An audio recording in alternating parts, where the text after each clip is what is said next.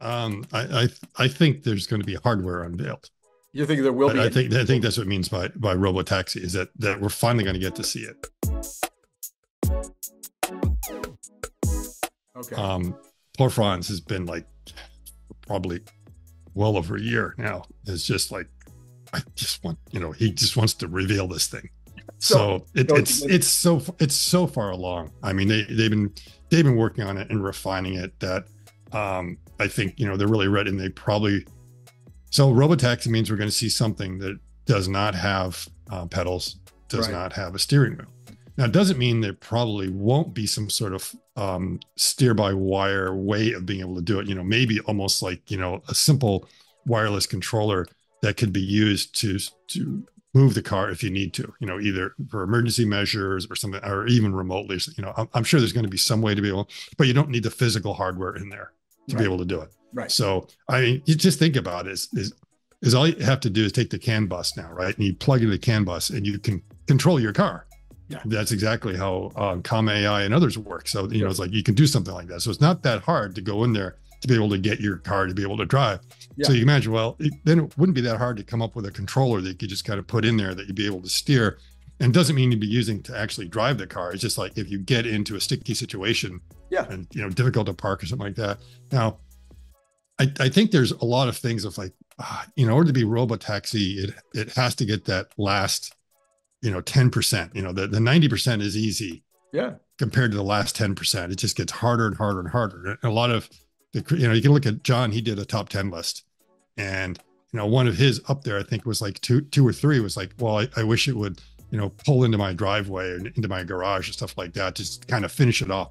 You know, in some ways it seems like, isn't that like really easy? I mean, isn't that like almost where you would start being able to, to do something like that? And from the standpoint of the a robotaxi, it probably it's not important because the idea of a robotaxi is not to park in your garage. Right. It's not even to pull into your driveway necessarily. I mean, there may be some situations you wish would be there, but a lot, a lot of times it's just like to be able to pull over to the side of the road, allow a person to get it. You know, ideally you like to go in there because in some roads maybe it's a little safer, but you know, in cities, there's like no place to pull over. I mean, that's Right. what the taxi does. It rarely does it pull in. So those little finesse items, if you want to think about them, may not be critical to the deployment of this.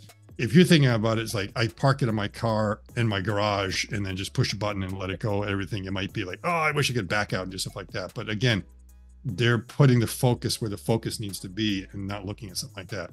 So I think we'll see some hardware and the overall. My, my guess is it's probably a two seater.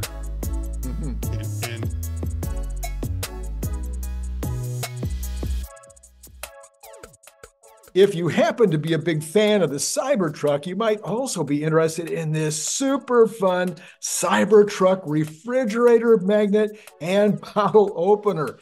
It is made out of super thick stainless steel, just like the Cybertruck, and it has this giant magnet on the back, so it's going to hold a lot of stuff on your refrigerator. It's an amazing gift, and it comes in that great gift box that you saw before uh, that uses a magnet opener, just almost like an Apple box, you know, like when you get Apple products. You can buy it on Amazon for $29.95, or you can buy it direct from me by sending $25 to paypal.me forward slash Randy Kirk, all in lowercase letters. Please indicate whether you want the stainless steel look or maybe you'd like to have this very clever camo version. And then if you're not in the US, please add $20 for freight. If you'd like more than one, please check the information below to get pricing, as well as all that information I just told you will be repeated in the information below. So, once again, think about joining the channel, getting the up to date Tesla news every single day. I think you'll be glad you did.